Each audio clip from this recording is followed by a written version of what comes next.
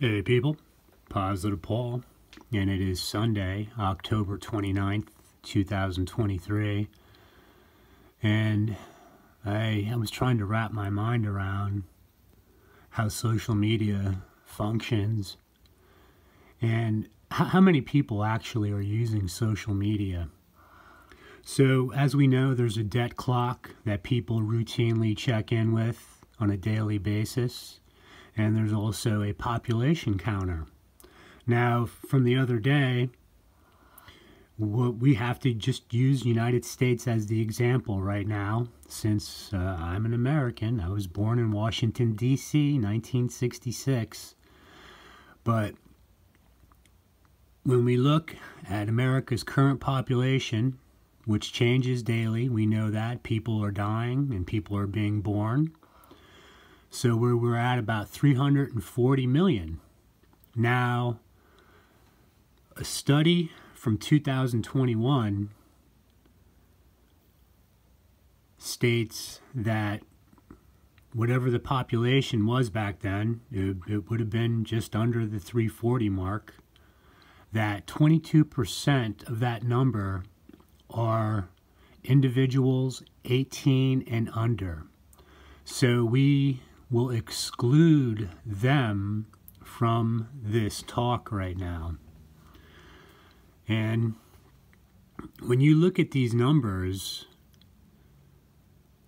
we ask ourselves, how many Americans are really using social media? Now, we know social media predominantly is only used for entertainment. Uh, if you're on YouTube, we also know that if you use the two main popular social media sites, meaning Facebook, YouTube, and I guess you could say Twitter, but we know that these platforms, when you try to use them to present evidence that adversely affects the controllers of social media, that you will be met with roadblocks, you will be met with extreme censorship, and it's almost, when you look at this, the reason why this happens, and one could say, man, do these do these groups, these individuals, these controllers, do they have a guilty conscience about something that they need to continually try to cover up?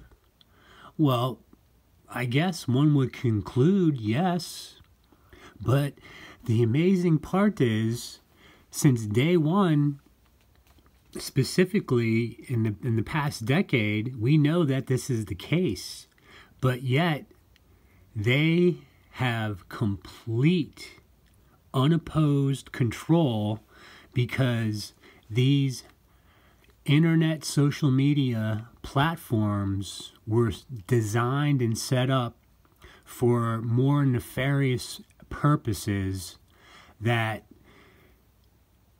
most people would say, nah, the, the, YouTube and Facebook are not some CIA concoction because the reality is they cannot get a handle on the amount of individuals that, well, know too much. And you cannot have these Freemason, sad sack, Edomite Satanists running around trying to control all these individuals, trying to keep up with what they are up to because there's just not enough boots on the ground. So what they cleverly did, and this this is all part of the great deception with their technological advances, they've come up with social media. And you know what? They they let the American population do their job for them. Now, one says, well, look, I'm not doing anything wrong. I'm not committing any crimes. I'm, I'm, not, I'm not a racist. I'm not a white supremacist. So why do I care if they're, they're watching what I'm doing or they're monitoring the information that I put out on social media? If you take that view, if that, that is something that you believe in, you got to go, go back and check yourself because what this does is it puts you in direct opposition into this so called constitutional republic and what the Fourth Amendment is all about. And actually, the, the First Amendment, I'm sorry, First Amendment, freedom of speech. So I look at this and I'm trying to understand what has happened since I've been involved with social media. Now, Initially, I used it for about a year to research some certain issues that concerned myself, but it wouldn't really be until the summer of 2016 when I started to actually use it, meaning Facebook and YouTube, and had no clue what I was getting myself into. I, I was, I tell you, uh, you know, wide-eyed uh, optimist about this, thinking that I'm going to go on there. I'm going to find like minded people, be able to share information, but also defend myself in the process of the, the uh, well, not, constant, nonstop uh, slandering of myself, Paul Wilson Lindner Jr., and it started up up in San Diego, and you know now, I've, as you all well know, I'm in Rosarito Beach, Mexico, these Satanists have been camped out down here, buying everybody off, turning them into snitches, that I'm a big boogeyman, that I need to be looked after. Well, the cartel runs around amok, doing all their little dirty deeds done dirt cheap with the devil. And when you watch this, this is what drives people crazy, all right? So what the ones that are able to get through all this minutia and and not give up, all right? We have to compartmentalize the fact that yes, these sad sack Satanists will continually try to cover their tracks and there's not much we can do about it. We can, you know, report and let you know the chips fall where they may, but again, to be able to use social media and use it at, against the controllers, it just you're spinning. We are spinning our wheels for the most part. So when we look at this population situation, if 22% are 18 and under, um, simple math will knock that number down to uh, at least 220 million individuals that may or may not be using social media. So now, what I came across, and I, I, I really find this fascinating because Pew Research has done a study. It was from back in October of 2022. Now, the reason why they didn't use Facebook and YouTube is because those two social media platforms are just so far above and beyond the ones that are included in their study that the, the metrics that you you know you're comparing apples to oranges because YouTube you know has uh, essentially you know gone up into the billions of users but the people that actually have channels it looks like as of uh, today, when I looked at the app, it said 33 million. So, you know, I, I don't know what the real numbers are, but either way, it's apples and oranges. So, what Pew Research did, they took seven other sites, which are right here Gab, Gettr, Parler, which I'm unfamiliar with. We know about Rumble because once a BitChute, you know, quickly as YouTube outlived their usefulness, you know, they had us all scattering and moving us to BitChute first, and then BitChute seemed to have some issues, not quite sure what their deal is, but then all of a sudden we all needed to go to Rumble. And then you see Telegram and Truth Social. So my concern is more with BitChute. Now we know on BitChute that you have some of the most evil, some of the most nasty individuals that are on BitChute and I'll break them down into three categories. The first one is going to be the nameless, faceless, useless, dopey comment perp that would uh, be involved with these, well, so called well intentioned uh, intelligence agencies, wherever, wherever they're at around the globe.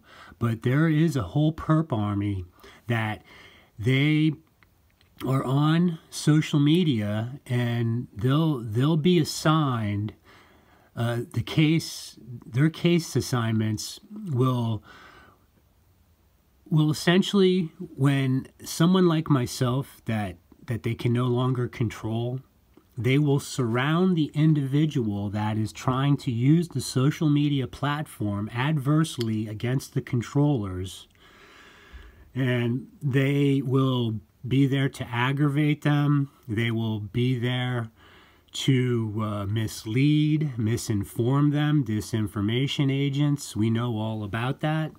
So you have that aspect. Now you will have actually do-gooders that think they've got something figured out. It's not that they're bad people. It's just that we live in a world where we are inundated with so much information and it's difficult to get to the truth, get to the bottom of the matter.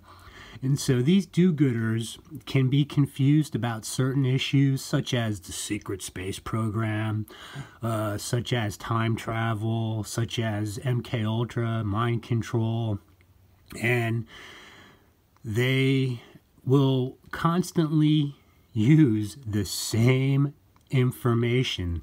The one clue that will point out these types is that, and I'll, I'll, I'll speak, the example is MK Ultra.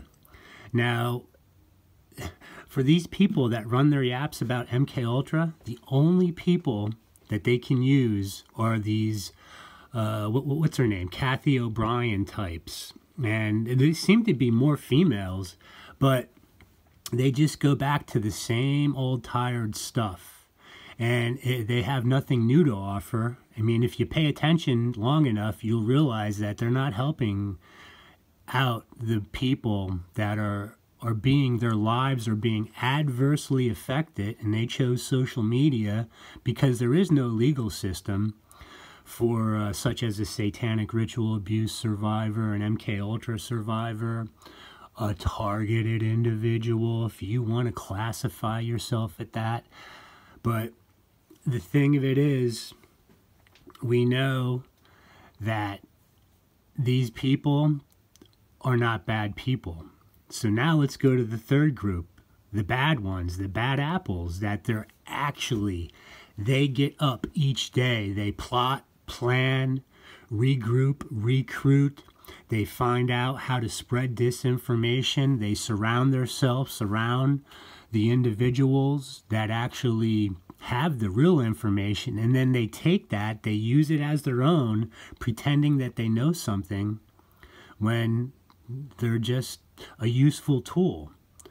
So, you know, BitChute, man, I tell you, looking at some of the comments, the childlike comments, the hateful, spiteful, mean spirited comments uh, that, that you see on BitChute, wow, it's just amazing. And YouTube it was that way, but they kind of got a handle on that. And it's amazing over on YouTube. Nobody is allowed to comment on my videos. Um, Auntie Green, always nice to see you, my dear. Uh, mucho gracias. Many blessings to you and your family. Jude, of course. Um, and, uh, the, you know, there's quite a few others. Um, Stephanie out there in Australia shows up every now and then. Uh, great to see you. I hope you're doing well. Um, uh, Mighty Mongoose, uh, I look, I know, I know what you're going through out there, and my prayers are with you. And there's others. But we have to ask ourselves if there is such um, a blowback to the information that some of us provide to uh, incite these hateful, mean spirited comments, how, you know, the only other way, I guess, would be if you have money, you just have your own website and you have a way to market it. Because other than that, we're, we're, we're stuck with these social media platforms. Other than, uh, you know, what do they tell us, folks? We think globally, but we act locally, right? We could stand out in the corner with our signs and our banners and shout at the top of the rooftops that, you know, the world's going to hell in a handbasket and get ready. But again, you know, people, they can only take so much of the chicken little. And they stick their head in the sand. And that, that that's really the um, the main effect of, of, of this is is turning people off to the truth. All right. So let's look at this. What I wanted to know is I want to know how many people are actually using BitChute because it, it's very uh, disconcerting for me to to see like some of the people that use my information and they have I mean, look, they're they're almost some of them are up over a hundred thousand subscribers, uh, tens of thousands, and their authenticity, their character, their integrity are, are all put into question. And then you have the fact that you know if I if I can I can get myself to do a video, which is tough anymore nowadays due to my health, which I never really talk about, but it's they've they've really done done some damage. So who is using BitChute? But let's look at this. Now I want to come up here and I think you all can see that. Let me let me see. Let's just start off. Okay. Who has heard of Parler? Well, 38% has heard of Parler. What about Truth Social? Only 27%. Well, I, I tell you what there, uh, Mr. Trump, the snuffle up, I guess. You, you're, you got to get, you got to, you know, beef up your marketing plan there or something. Telegram's the same, 27. Rumble, 20%. Gab, 11%. Gettr, 10%. And now look at BitChute lowly BitChute, only 7% of the people in America have heard of BitChute. Now, when I saw that, I tell you, it made my heart sink because I use BitChute quite often. I don't know what else, you know, I'm at my wit's end. I, I look, I've all my information stands. I, I'm not I'm not one of these ones that put videos up and then pull them down. All right, I can. I, I look. It, it, it's so crazy that look the people that are in opposition to me and are there to aggravate me they make it obvious they have to they've got no choice and i could go on the attack you've seen me go on the attack people i've got no problem pointing these assholes out Remember, I've lost everything. They can't do anything to me anymore. There's nothing. They took away my ability to make money. They're, you know, in the process of trying to get me on the street, destroy my family. They've got these Mexicans bought off down here in Rosarito and wherever else I go. It has nothing to do with Mexico. I'm just here because my son's mother is from here. And that's unfortunate for these people, I guess. But look, they benefited. Look, you should see it.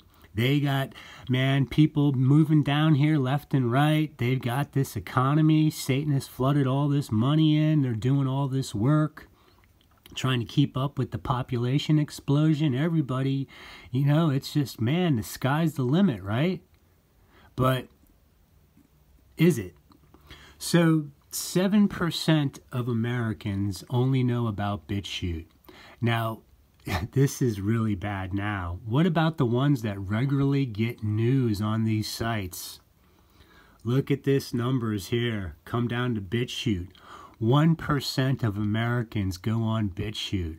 So see, this explains why I can't get any traction on BitChute concerning Americans because what I enjoy about BitChute are the people around the globe that have picked up on me. Canada in particular, Patrick, hope you're doing well, buddy. Um, you're always, you know, you helped me out. You stepped up to the plate and helped me out when I asked for help way back when. And there's other Canadians where where waking up from the dream, I see all your supportive comments. God bless you. There's others, and then again in Australia, and I know there's some people in Europe watching. So in, in England, all right. Now let's let's move on real quick. Okay, so overall, seven percent of U.S. adults say they've heard of BitChute, but only one percent regularly get news there. Now, let's. Uh, how do I want to wrap this up? Okay, get news from more established social media sites down here. So 31% is on Facebook, YouTube 25%, 14% for Twitter. Now, what what with these raw numbers from Pew Research, which is supposed to be a very reputable uh, research organization, what is this telling us? That no one gives a fuck about social media. No one gives a fuck about anybody's problems. It's me, myself, and I. All right? If it's not in my backyard, I don't fucking give a shit. See, this is why the world will be brought down to its knees and humbled before the Holy One of Israel because you're all a bunch of spoiled little brats. And now, see what they're doing, these Satanists the ones, the countries that have been left poor, tired, hungry, uh, oppressed, finally, finally, they're getting, the, it's their time because look, the Satanists, I got to use Mexico as an example. They don't want these Mexicans waking up to how the world operates. They don't get it.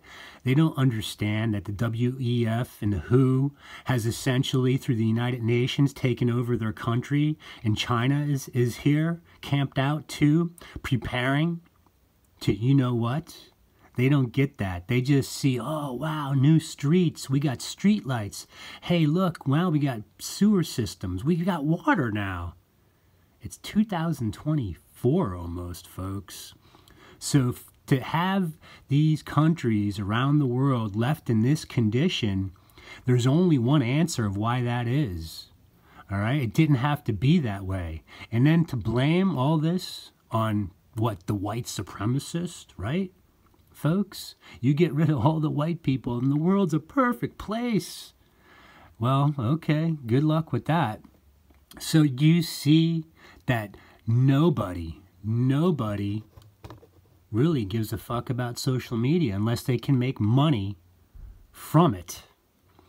Now, you would think my situation with these implants, these Satanists that I've been squawking about for eight years, Uncle Carl, Bush, Kissinger, all these other fuckheads, that somebody would be curious enough to come down here and, you know, but there's only one side of the story, folks. Do you see how this works? And then if you have money and you can actually get a lazy lying lizard lawyer that's got balls, they could have the case of the century. You know what's crazy with these Mexicans down here? They've got they got the goods in me against the very people they hate and they're taking money from to follow me around and play games with me, stalk me, harass me. But do you think they'd come to me, start asking questions like, why in the hell are we still doing this eight years later? Because they make money off me, Jacob. And it, it, somewhere else in the world, they could be in Europe somewhere, England, Germany, France, Canada. Somebody's going through this same thing, and I don't know who they are. This is the sad part. So let's let's look at this. Which social media platforms are most popular? Well, look, we know Facebook off the top, but over here, look where they, they got this chart. Facebook Pinterest, Instagram, LinkedIn, Twitter, Snapchat, YouTube, WhatsApp, Reddit, TikTok, Nextdoor at the bottom. All right. Well, you know, so what, what would what would how would it help me if I took my information over on uh, well, I don't know, Twitter? What do you think would happen? Because X, like Elon Musk, right? He he he he's someone. He's a proponent for free speech. He's against censorship. Well, okay. So let's wrap this up. You, you people kind of understand this. I'm starting to get a headache. This stuff makes me sick to my stomach. About a year ago on BitChute, it was saying I was up over 1,100 subscribers. Now, if you look at it today, I think it said 279. So I don't understand how this works. I mean, I do, but if my info, right, if my information's no good, you would think that these asshole controllers of social media would want the world to see what a crackpot I am. But that's not the case. So, you know, again, it's not about me. It's about bringing people to Christ, having our peace of mind that when we wake up, we live in a world where we can feel good about one another. Do you realize this is what the peaceful kingdom is going to be like? No more racism, folks. It won't exist. You won't even remember this. There'll be no more hate, no more crime, no more war. I don't know if you understand that. And if God can create heaven and earth, and everything else in six days, he can do it all over again. That's what the New Jerusalem is about the river of life. And some of you aren't going to be there, especially you BitChute types. I can tell you that. That's not for you. So let's do one more thing before I go.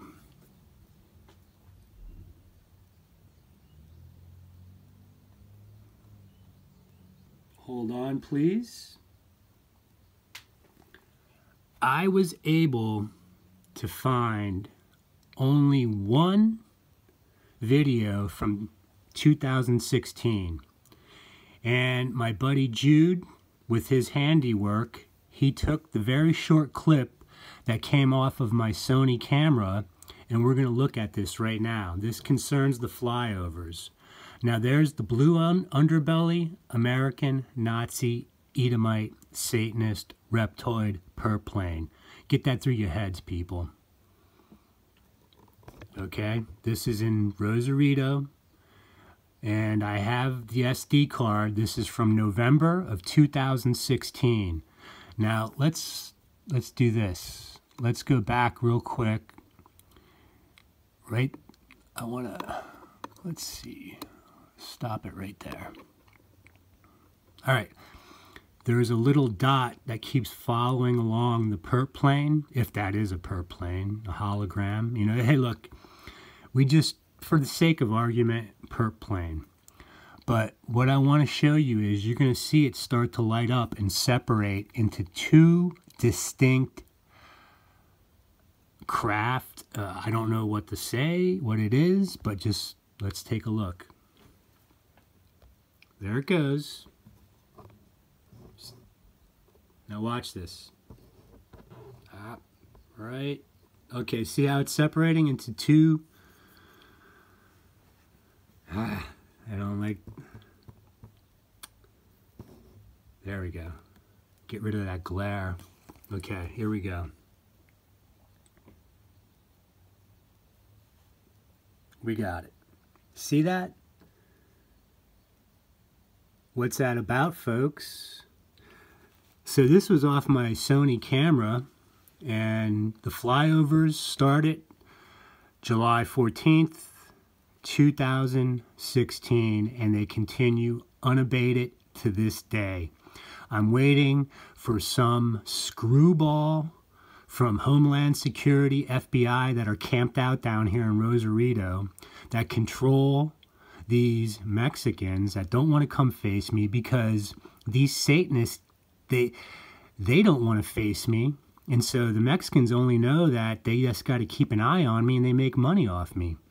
But See, I'm start they're starting to expose themselves down here.